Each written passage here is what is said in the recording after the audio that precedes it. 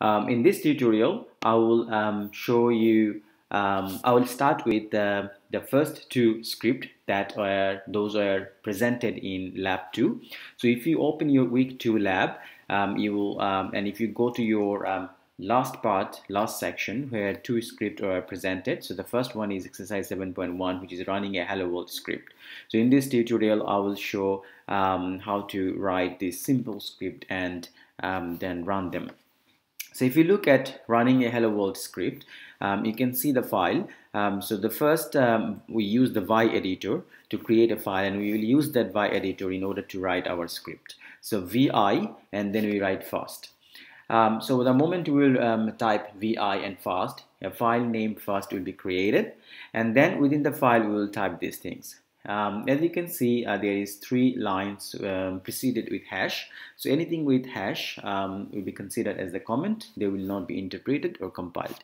And then clear. So this will uh, clear the screen. And then you can see echo and uh, knowledge is power. So that means it will just print knowledge is power on the screen anything um, after echo uh, anything we put within the double quote will be um, directly printed into the screen. So let's have a look. So I say vi um, vi and then first first. So this will create a temporary file named first and we can start writing. Now at this stage I am on the command mode. So I have to I want to go to the editing mode or insertion mode in order to start um, writing or typing.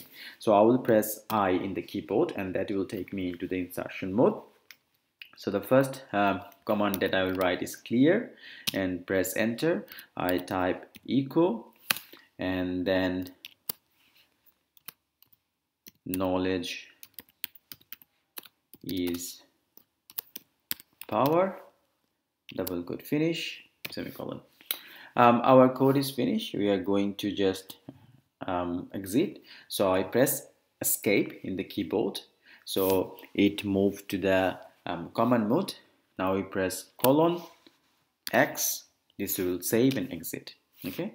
If I put ls I can see there is a file named first as you can see first. So the next thing that we will do is we will change the mode and we give execution mode for the user so 755 and then first. So that should become um, executable file. If I put ls again you can see it becomes green. So these green files are actually executed.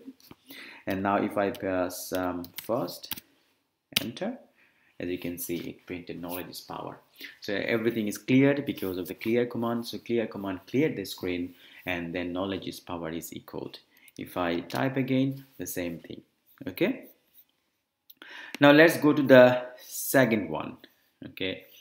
The second one says demo of using propositional uh, positional parameters. So here it says create a file names script1.sh and then um, put this. Um, so this one is just telling um, or giving the direction that bash terminal will be used and then this is a comment this is a comment and then um, you can see it echoes the first argument is dollar one and then echo the second argument is dollar two. And then it is telling if we run the script um, with saying like bash script1.sh and hello london. So actually these two words are being passed as the argument.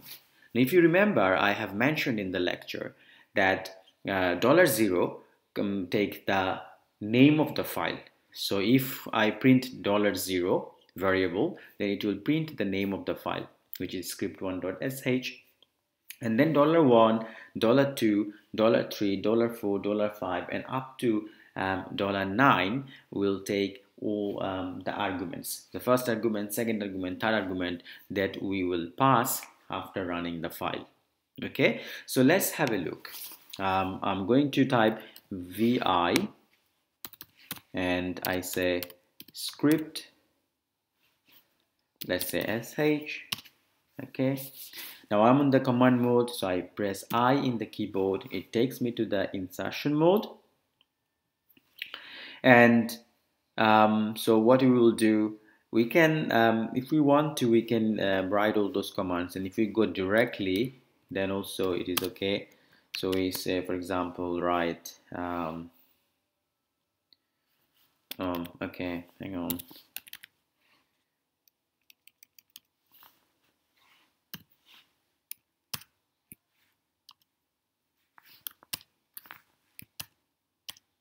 Okay. Um, so now it is ready to go again.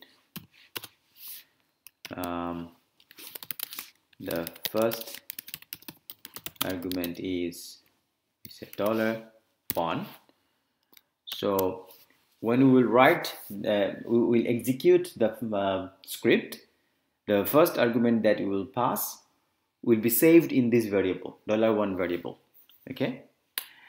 Um, then if we type echo the second argument is and it will be in dollar um, dollar two. Okay dollar uh, okay. Dollar two.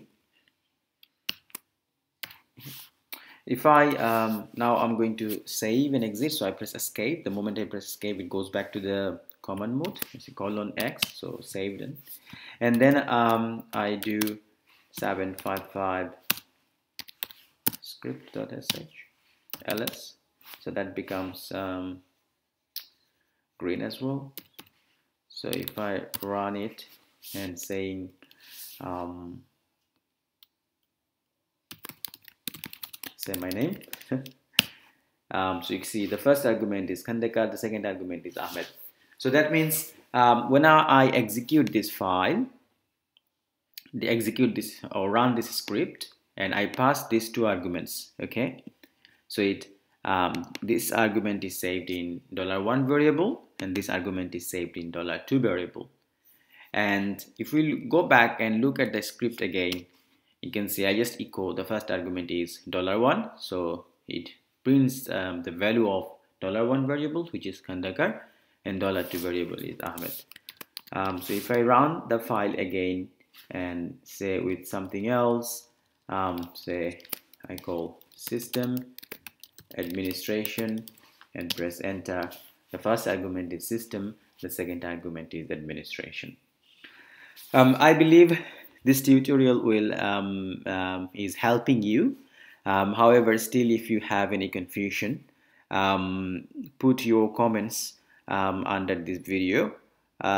Put your question if you have any question and um, I will see whether I can answer them or not or I'll try to answer them. Thank you